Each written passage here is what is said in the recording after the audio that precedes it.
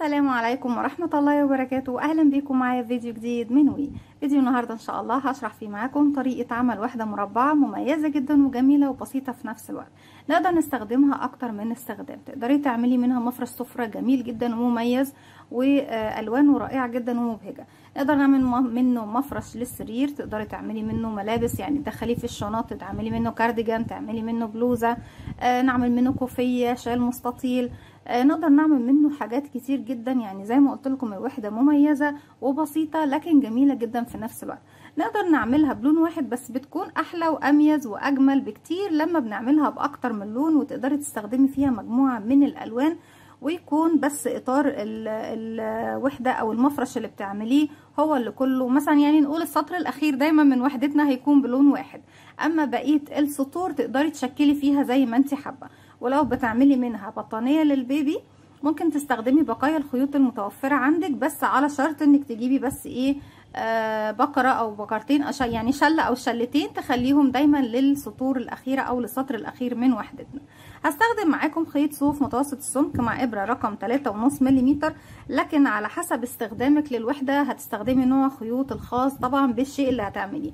يعني لو بتعملي مفرش للسفرة أو بتعملي ملابس هنستخدم الخيوط القطنية وطبعا دوت يمشي أنا بقول الملابس زي مفرش السفرة بيمشي مع كل الأنواع اللي هقولها دلوقتي.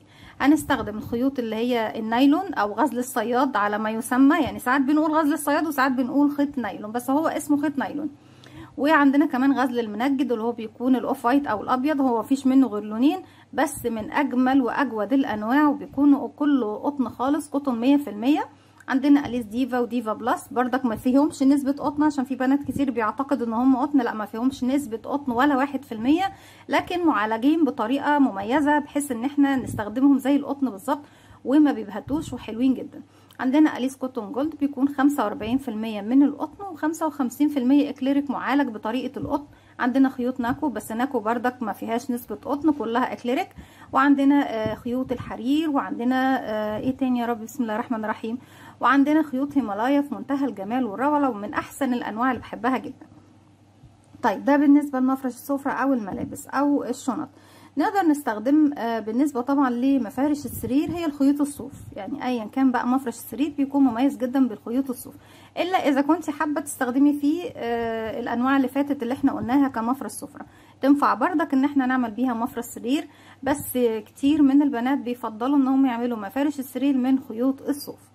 ايا كان الأنواع الصوف هنتكلم عنها في فيديو خاص بأنواع الخيوط وإيه أفضلها وإيه طبعا أسعارها وإيه الأحسن وإيه اللي مش أحسن وهنتكلم طبعا عنها باستفاضه في فيديو تاني إن شاء الله. أتمنى إن فيديو النهارده يكون سهل وبسيط وإن هو ينول إعجابكم. ما تنسوش إذا عجبكم الفيديو تدعموني ب like و share و subscribe. هنقول بسم الله الرحمن الرحيم وفي البداية هنبتدي نشتغل ناخد اللون اللي هو البصلي ده.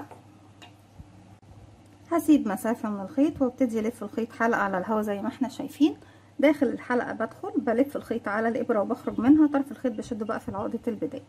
بسم الله الرحمن الرحيم. في البداية أول حاجة ببتدي أعملها إني بكون ست سلاسل. إزاي بكون السلسلة؟ بيكون عندي على الإبرة حلقة زي ما إحنا شايفين. بلف الخيط وأخرج منها. بسم الله. واحد اتنين تلاتة أربعة خمسة ستة. هسيب الخمس سلاسل الأخيرة وأروح لأول سلسلة بدخل في الحلقة الأمامية. ألف الخيط وأسحبه من تحتها ومن تحت الحلقة الموجودة عندي على الابره بكده بغرزة منزلقة بكون قفلت الدائرة اللي هنبتدي نشتغل فيها داخل الشغل زي ما إحنا شايفين. طرف خيط البداية بجيبه معايا في خلف السلاسل وأبتدي أشتغل عليه. في البداية بشتغل أو السطر الأول عامة بيكون تكوينه عندي هو عبارة عن اتنين عمود اتنين سلسلة اتنين عمود اتنين سلسلة. بكرر دوت لغاية ما بوصل لتمن مجموعات كل مجموعة فيها اتنين عمود وبعد كل اتنين عمود فيه اتنين سلسلة. طيب علشان ارتفع ارتفاع غرزة العمود بلفة وطبعا الارتفاع ده بعتبره غرزة عمود هو بيكون ثلاث سلاسل يعني هرتفع واحد اتنين تلاتة وهعتبر الثلاث سلاسل دول غرزة عمود بلفة وهدخل بقى اشتغل كمان غرزة عمود بلفة. علشان نكون أول مجموعة وزي ما قلنا كل مجموعة بتكون مكونة من عمودين بلفة. إزاي بشتغل غرزة العمود بلفة؟ لأن إحنا كده اشتغلنا سلاسل ما اشتغلناش العمود بشكله الطبيعي.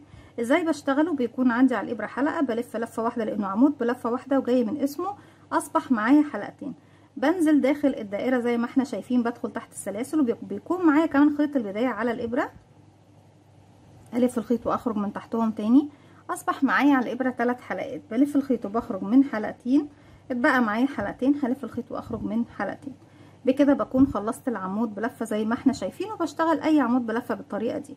بعد ما خلصت المجموعة الأول الأولى مكونة من حلقه من عمودين هاخد بقى سلسلتين واحد اتنين وارجع تاني أكون المجموعة رقم اتنين مكونة من اتنين عمود بلفة. كده واحد.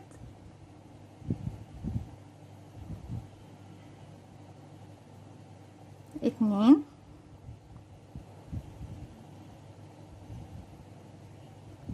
بعد المجموعة التانية باخد سلسلتين واحد اتنين وبكرر دوت لغاية ما بوصل إن يكون معايا 8 مجموعات كل مجموعة فيها اتنين عمود بلفة وبعد كل مجموعة باخد سلسلتين.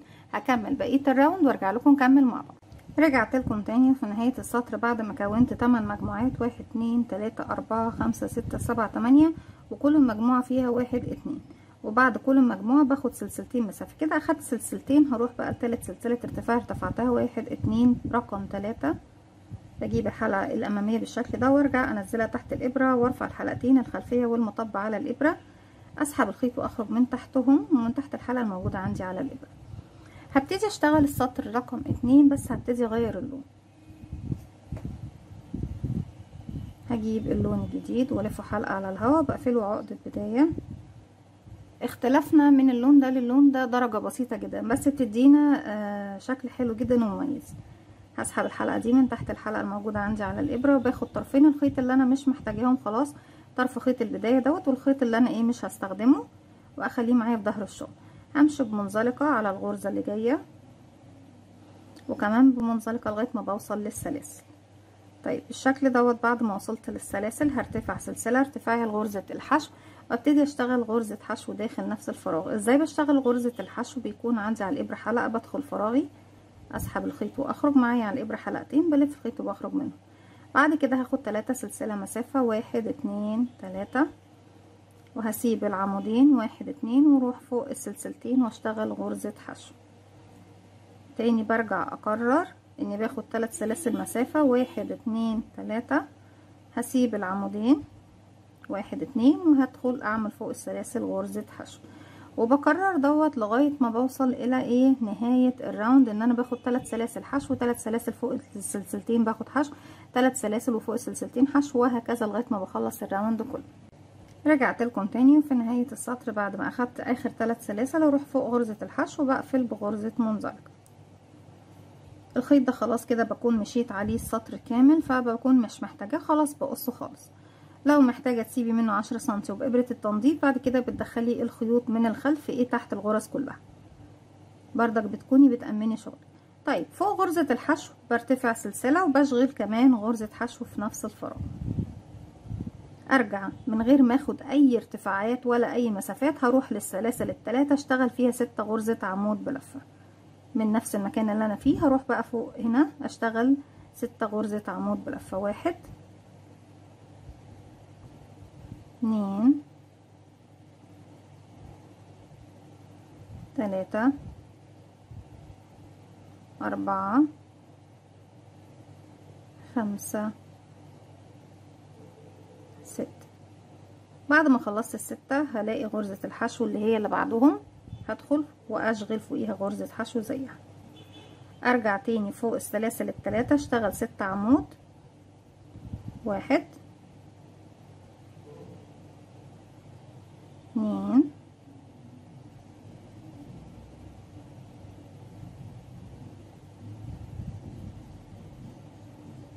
تلاتة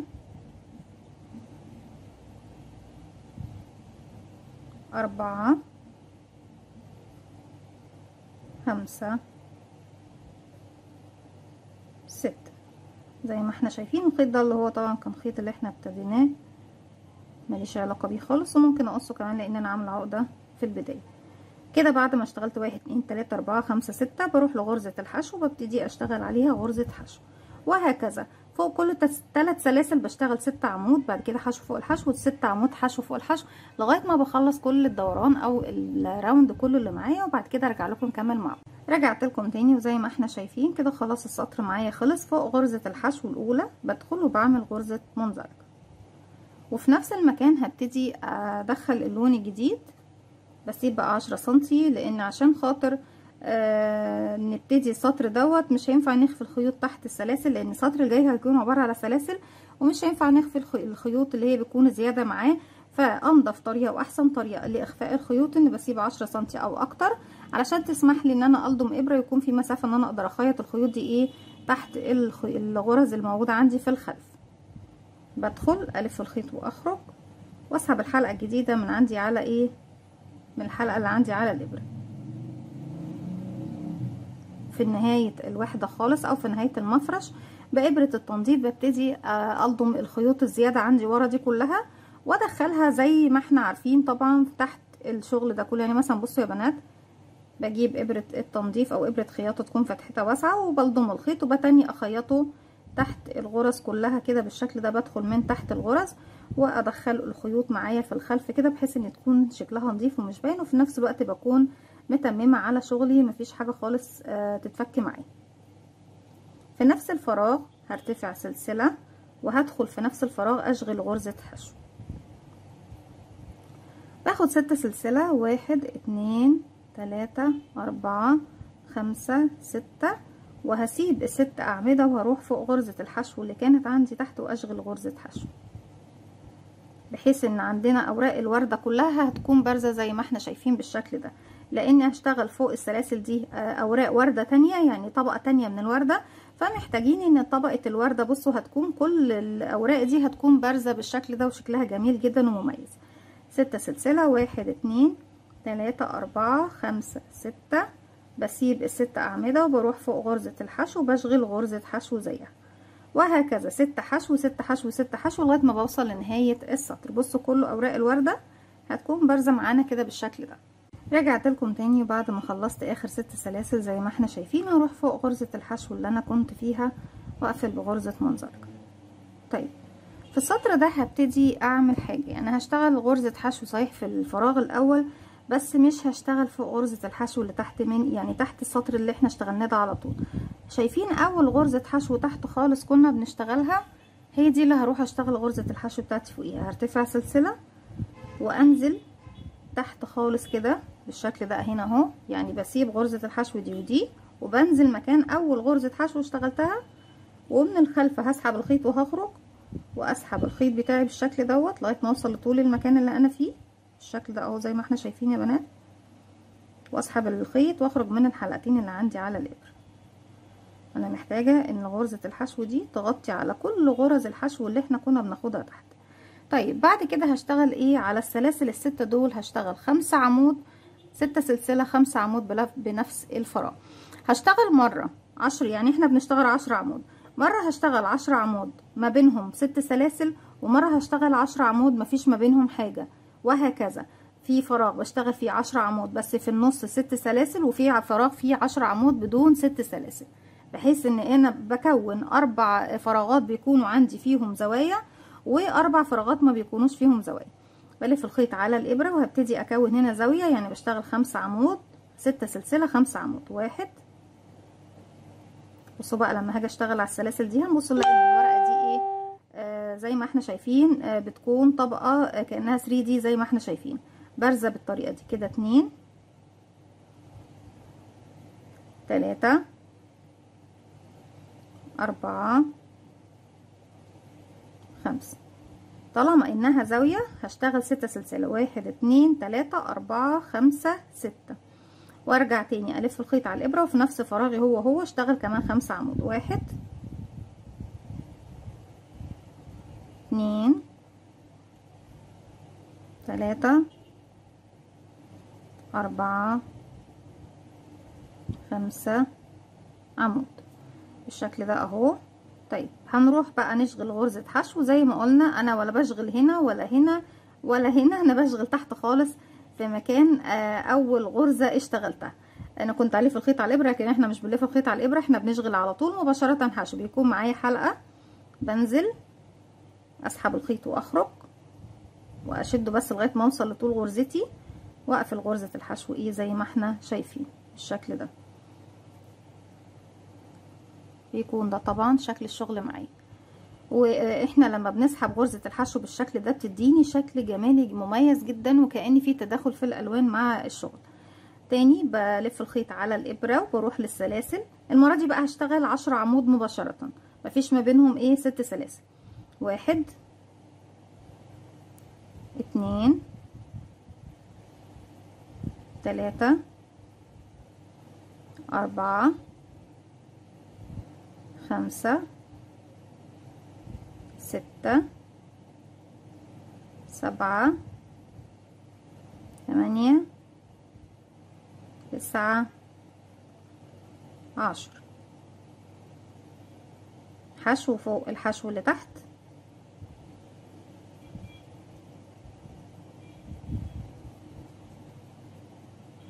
نعدل شغلنا ونحاول طبعا إن إحنا نبرز الشكل معانا الجمالي ونوضحه أكتر كل طول ما إحنا شغالين. أرجع أشتغل خمسة عمود. ستة سلسلة خمسة عمود. واحد. اتنين. تلاتة. أربعة. خمسة. واحد اتنين تلاتة أربعة خمسة ستة. تاني في نفس الفراغ خمسة عمود. بكمل العشرة عمود بتوعي. واحد. اتنين. تلاتة. أربعة. خمسة تحت غرزة الحشو اللي تحت هنا يعني بنزل فوق كل غرز الحشو دي وبنزل الفراغ الأول من تحت أسحب الخيط وأخرج وأشغل غرزة حشو ساقطة. بنسميها ساقطة لأن هي بتكون ساقطة على أول مكان اشتغلته. بالشكل ده زي ما إحنا شايفين اهو بصوا. وبكرر بنفس الطريقة السلاسل اللي جاية هيكون فيها عشر عمود بس من غير سلاسل واللي بعدها عشر عمود فيهم في منتصفهم ست سلاسل وهكذا. مرة عشر عمود آه مرة خمسة عمود ست سلاسل خمسة عمود وننزل حشو ساقطة. عشر عمود حشو ساقطة. خمسة عمود ستة سلسلة خمسة عمود حشو ساقطة. وهكذا بكرر بقى لغاية ما بوصل لنهاية الراوند بنفس الطريقة. بصوا أوراق الورد خلاص بتكون بارزة معايا زي ما إحنا شايفين. بكمل السطر كله بنفس الطريقة وارجع لكم نبتدي سطر جديد مع بعض. رجعت لكم تاني وفي نهاية السطر زي ما إحنا شايفين. بصوا بقى جمال الوحدة بيبتدي يبان قد إيه مميز وجميل وفي نفس الوقت سهل إن شاء الله وبسيط. في نفس المكان الأول اللي اشتغلت فيه غرزة حشو بدخله بقفل بغرزة منزلقة هبتدي أضيف اللون الجديد اللي بيدينا شكل أوراق الشجر حوالين الوردة.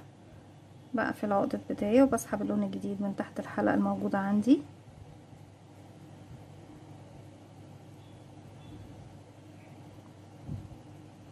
في نفس المكان هشتغل غرزة حشو. ارتفع سلسلة وفي نفس المكان هشغل غرزة حشو. ومباشرة بسيب بقى الخمسة عمود اللي تحت دول وشايفين السلاسل معايا الستة. هروح أشتغل فوقيهم إيه؟ خمسة غرزة عمود بلفة. واحد. أنا هنا عندي على طول من غرزة الحشو اللي كنت بشتغلها. رحت مباشرة لأول السلاسل أهي فوق الخمسة. آه ست سلسلة عفوا. هشغل خمسة عمود. واحد اتنين تلاتة. أربعة. خمسة. بعد ما اشتغلت خمسة غرزة عمود بلفة هشتغل سلسلتين مسافة واحد اتنين. وكمان مرة في نفس الفراغ هشتغل خمسة عمود بلفة. واحد. اتنين. تلاتة. أربعة. خمسة. بسيب الخمسة عمود اللي كانوا عندي تحت وبروح فوق غرزة الحشو الساقطة وبشغل غرزة حشو. زي ما إحنا شايفين بيكون المكان عندي هنا ده شكله. هرجع آخد خمسة سلسلة. واحد اتنين تلاتة أربعة خمسة. هعد من تحت بقى من الأعمدة دي. واحد اتنين تلاتة أربعة خمسة. وبعد الخمسة بصوا بتاخر الخمسة دول عن الخمسة دول وفي الفراغ اللي ما بين الغرز الخمسة دول والخمسة دول هنزل من تحت كده وأشغل حشو.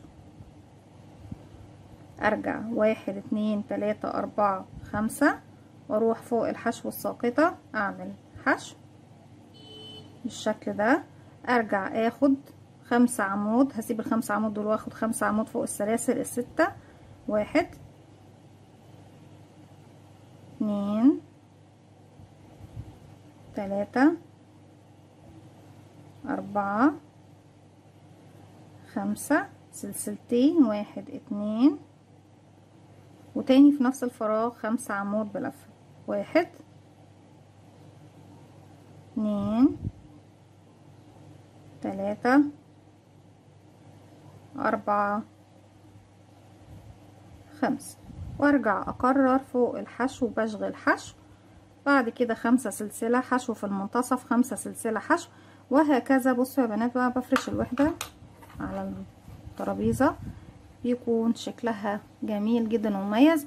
بكمل السطر بتاعي كله خمسة سلسلة حشو في المنتصف هنا خمسة سلسلة حشو على الحشو خمس آه خمسة عمود فوق الستة سلسلة وبعد كده سلسلتين خمسة عمود ونروح نعمل حشو على الحشو. خمسة سلسلة حشو في المنتصف خمسة سلسلة حشو وهكذا لغاية ما بوصل لبداية السطر. رجعت لكم تاني زي ما إحنا شايفين الوحدة في نهاية السطر بتكون بالشكل ده. بنقفل في مكان الغرزة الأولى اللي اشتغلناها بغرزة منزلقة وهبتدي أغير للون الأخير اللي هو السطرين اللي في الآخر بنشتغلهم وزي ما قلت لكم في بداية الفيديو إحنا دايما لو هنعمل آه مفرش أو أي شيء بنعمله بألوان متعددة بخلي آخر سطرين هما بلون واحد موحد بحيث يكون آه الشكل كله في النهاية مع توحيد السطرين اللي في الآخر بيدينا شكل واحد وبتدمجي الألوان كلها بتكون مميزة جدا وجميلة. في نفس المكان بس هدخل وأشبك بغرزة منزلقة كمان بحيث إن أنا أأكد على إيه؟ الشغل بتاعي. طيب في نفس المكان اللي أنا واقفة فيه هرتفع سبع سلسلة. بسم الله واحد اتنين تلاتة أربعة خمسة ستة سبعة وهروح فوق غرزة غرزتين السلسلة دول وهشغل غرزة حشو. بالشكل ده أرجع سبع سلسلة واحد اتنين تلاتة أربعة خمسة ستة سبعة.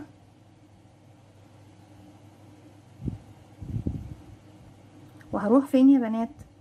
هروح أشتغل فوق. شايفين بقى هسيب الأعمدة دي كلها وهسيب غرزة الحشو وهسيب أول سلسلتين وأروح أشتغل بقية السلاسل خمسة يعني على الثلاث سلاسل باقيين كده. هعد واحد اتنين.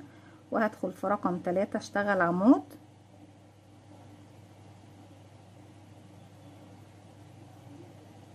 ورقم أربعة كمان عمود. وخمسة عمود. وغرزة الحشو اللي في المنتصف هنا هشغل فوقيها عمود بلفة. أرجع آخد تلاتة سلسلة اللي جايين. يبقى كده ده رقم أربعة. ودي تاني سلسلة خمسة. تالت سلسلة كده عندي. واحد اتنين تلاتة اشتغلتهم وواحدة هنا يبقى أربعة وواحد اتنين تلاتة يبقوا سبعة واحد اتنين تلاتة أربعة خمسة ستة سبعة.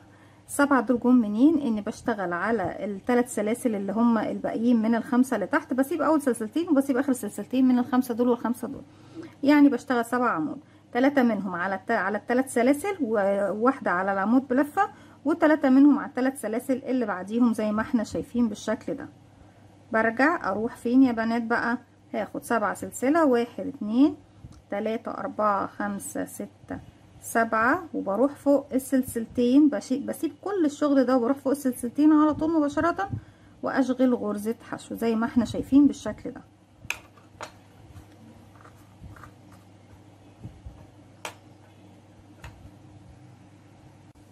وبكرر سبعة سلسلة.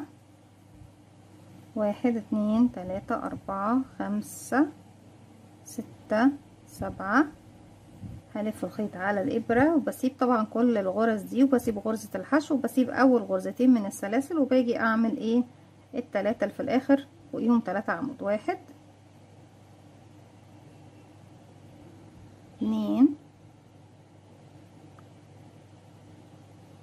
تلاتة وعمود فوق الحشو يبقى أربعة. والتلات سلاسل اللي جايين. يبقى خمسة. ستة. سبعة. وبكرر سبع سلاسل حشو سبع سلاسل وبروح أشتغل سبع عمود وهكذا لغاية ما بوصل إلى نهاية ال round هكمل وأرجع رجعت لكم تاني وكده في نهاية السطر بتاعنا زي ما إحنا شايفين. وأروح لأول مكان ابتديت منه السلاسل وأقفل بغرزة منزلقة بحيث إن تكون آه طبعا آه المكان ده زي كل الأماكن. إحنا طبعا زي ما إحنا شايفين هو الاماكن المكان ده بس يمكن مشبوك هنا شوية مشدود هنا شوية علشان بقية الأماكن السلاسل مباحة زي ما ما إحنا شايفين ومرتاحه كده. لكن علشان ده مكان البداية هيكون ده شكله مش بيكون واضح على فكرة. في نفس المكان اللي أنا فيه همشي بس بمنزلقة لمكان السلاسل. أبتدي ارتفع واحد اتنين تلاتة. وأعتبر نفسي اشتغلت فوق أول سلسلة غرزة عمود بلفة.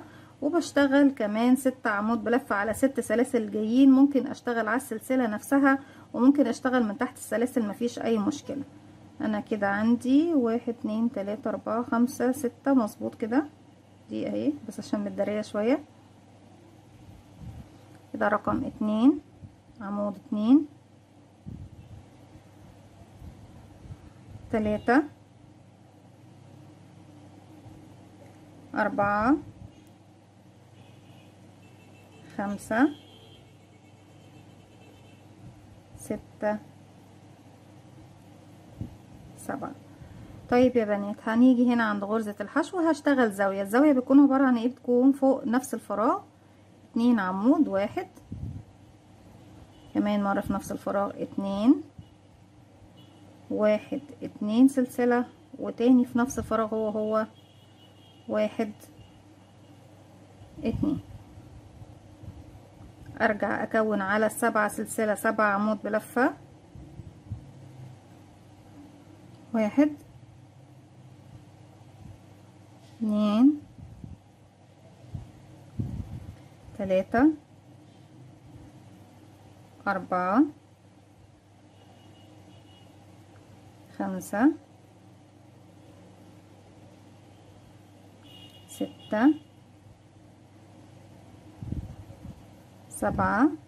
وهيقابلني السبع عمود هشتغل عليهم سبع عمود بالنسبة للبنات اللي مش حابة طبعا تقفل المكان ده هنا ممكن أقفل بس السطر اللي فات بمنزلقة في المكان هنا الأول وبعد كده ابتدي اوصل خيط من اول ما ابتدي غرزة الحشو. وبعد غرزة الحشو بشتغل السبع سلسلة وبفضل اكرر اكرر اكرر اكرر زي ما عملت طبعا في السطر اللي قبل اللي إحنا اشتغلناه ده.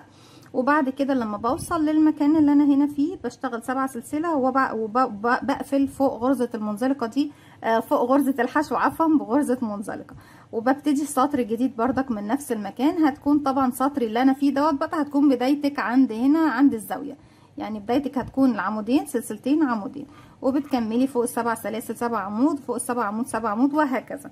ده لو مش حابين تبتدوا السطر اللي فات في المكان ده يا بنات. أرجع أشتغل سبع عمود فوق سبع عمود. واحد. اتنين. تلاتة. أربعة. خمسة ستة سبعة. وأكرر تاني سبع عمود فوق السبع سلسلة. واحد اتنين تلاتة أربعة. خمسة ستة سبعة. فوق غرزة الحشو تكون زاوية مكونة من اتنين عمود بلفة اتنين سلسلة اتنين عمود بلفة. واحد. كمان مرة في نفس الفراغ. اتنين. واحد. اتنين. تاني أنزل في نفس الفراغ. واحد. اتنين. وارجع أكمل واحد اتنين تلاتة أربعة خمسة ستة سبعة وسبع عمود على السبع عمود وسبع عمود على السبع سلسلة وهكذا بكرر بنفس الطريقة دي زي ما إحنا شايفين. بصوا يكون ده طبعا الشكل لما بنيجي نظبط الوحدات ونكوي الشغل بتاعنا بيكون ده الشكل أهو زي ما إحنا شايفين. بكرر لغاية ما بوصل لنهاية الراوند بنفس الطريقة هكمل وارجع لكم نشوف وحدتنا في النهاية مع بعض شكلها إيه. طريقة التشبيك هي بتشت... بنشبكها بطريقتين إما غرزة المنزلقة وإما غرزة الحشو الطريقتين مشروحين عندنا كل واحدة فيهم في فيديو خاص على القناة. أتمنى يا رب إن هم ينولوا إعجابكم. أكمل السطر وارجع لكم تشوفوا الوحدة كلها على بعضها شكلها إيه. رجعت لكم تاني ودي وحدتنا النهارده في شكلها النهائي ودي كانت فكرة الفيديو النهارده. أتمنى يا رب إن هي تكون سهلة وبسيطة وتنول إعجابكم. ما تنسوش إذا عجبكم الفيديو تدعموني ب like و share و subscribe واستنوني فيديو جديد من وي. وما تنسوش كمان تفعلوا زرار الجرس يوصلكم مني كل جديد. السلام عليكم ورحمة الله وبركاته.